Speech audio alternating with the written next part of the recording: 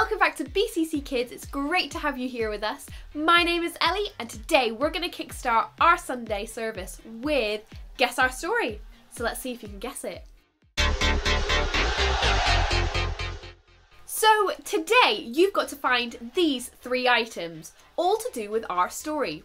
So let's see if you can find a coat, the most colourful item you have in your house, and some coins.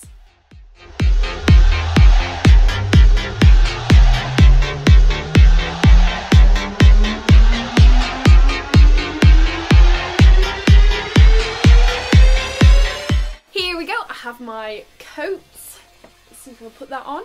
I've got my coat. And the most colourful item I have in my house are these socks for some reason. and I've got some coins. So, I wonder if you can guess our story today from this coat, this super colourful item, and these coins.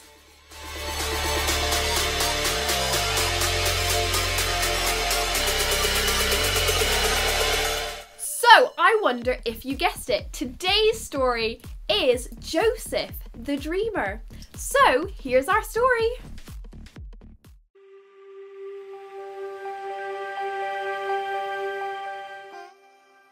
Joseph the Dreamer.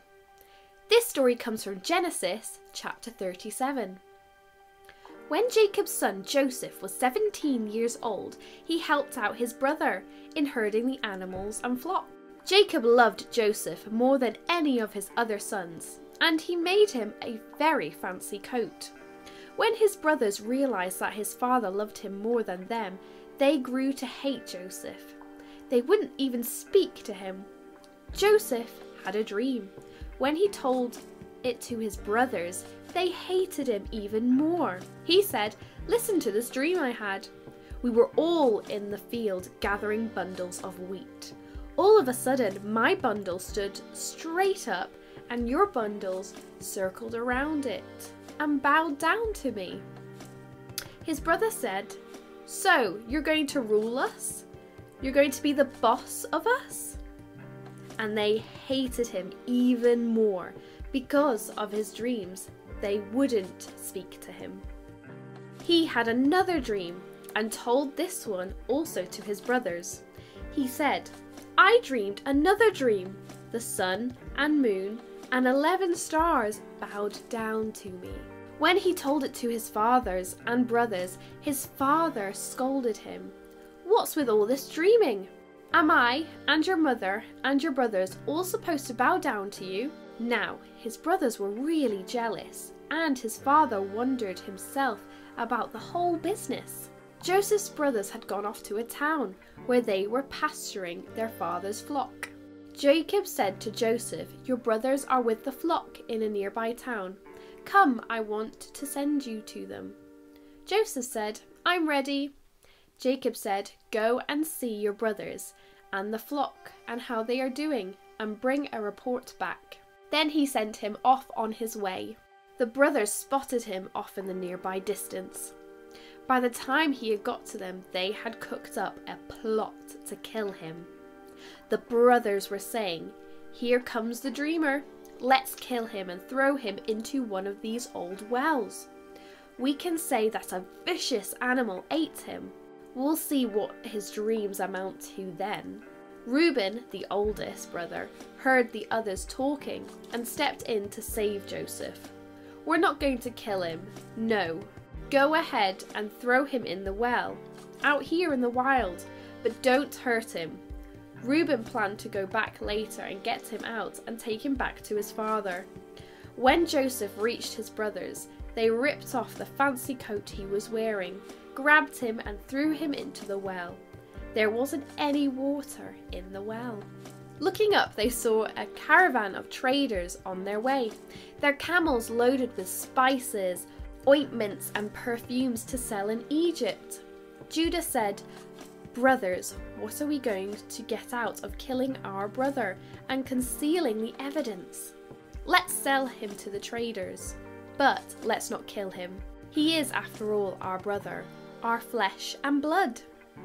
His brothers agreed. his brothers pulled Joseph out of the well and sold him for 20 pieces of silver to the traders who took Joseph with them down to Egypt. Later, Reuben came back and went to the well. The brothers took Joseph's coat, killed a goat, and dipped the coat in a little bit of blood. They took the fancy coat to their father and said, We found this. Look, look it over. Do you think this is your son's coat? Jacob recognized it at once. My son's coat! A wild animal has eaten him. My Joseph, torn limb from limb. In Egypt, the traders sold Joseph to one of Pharaoh's officials. This person was the manager of their household. So that's part one of our story today. We'll finish off part two next Sunday because it's quite a big chunk of a story. So now it's time for Why Why What? So, why do I like this story? Well, I like it because Joseph was a dreamer. God spoke to Joseph through dreams of what was going to happen in the future. That's pretty cool. And Joseph had the skill to interpret those dreams. So he was able to understand what the dreams meant, even if they were super, super weird. Do you get weird dreams? I get weird dreams. In our house, when we have a weird dream, we like to talk about it the next day. And sometimes they're really funny, sometimes they're really strange, and sometimes they make no sense at all. My dreams are sometimes, my dreams can be really strange. It's sometimes because I'm worried about something. And when these dreams happen, it reminds me that I need to talk to God about this. Sometimes you just forget, don't you? So when I have a weird dream, it reminds me to go to God and talk to Him about it. Why is this story important? Well, this story shows that no matter how old you are, no matter where you are in life, no matter what you're doing, God can use you. Because Joseph was only 17. That's pretty young. And he was put and he was thrown down a well, and his brothers didn't like him. But God was still using him for something bigger because remember, his dreams were from God. So we'll see what happens next week in part two as well of what will happen. But no matter where you are, what you're doing, how old you are, God can still use you. So, what has this got to do with me? So, even though Joseph went through lots of bad situations, God was still using him. And there is lots to be thankful for, even when we're in bad situations. So, even though coronavirus is still lingering, we can still be thankful. So today I am thankful that I get to see my family more in this season than I did when coronavirus wasn't around.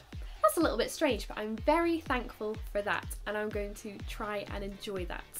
So, what are you thankful for today and what can you be thankful for this week?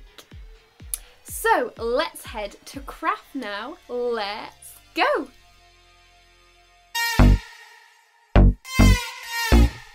Hey everyone, welcome back to Craft, and today we are making thankful hands. So, what you're going to need for this is you're going to need some paper, scissors, and colouring pens or pencils. And we're going to start by grabbing your piece of paper and placing your hand on it and drawing around your hand.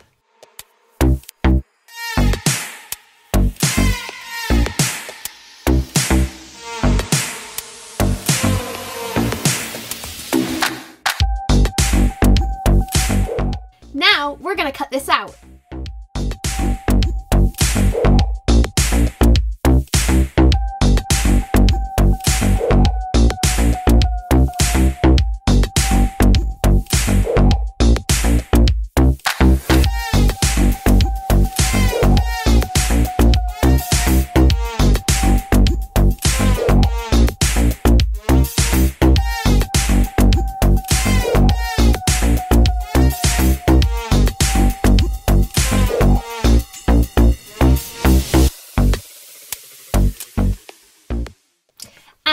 You've cut it out, you can now decorate this and write one or more things that you're thankful for today and this week.